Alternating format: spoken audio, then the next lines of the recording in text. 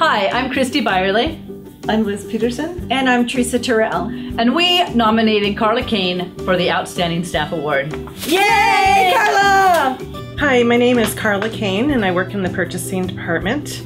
You could say that I got my customer service skills at an early age. I was about six years old when my mom started to take me to my dad's optometric office, and I learned to take the patients to the refracting room, and gradually over the years, my skills grew. I started here about seven years ago, and whenever I would do purchase requisitions, I would usually get a phone call from the business office and that said Carla Kane, and I always thought I was in trouble because I always made mistakes on those requisitions.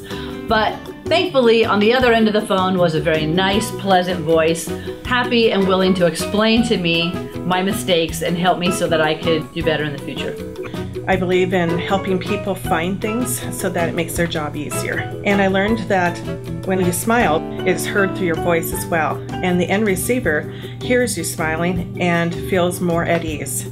I'm so honored to be getting the Outstanding Staff Award. This means so much after almost 15 years at the college. Thank you very much to everybody. She deserves this. She deserves a recognition because she works with us on a day in and day out basis and she's never grumpy. Thank you, Carla. Let's hear it for Carla.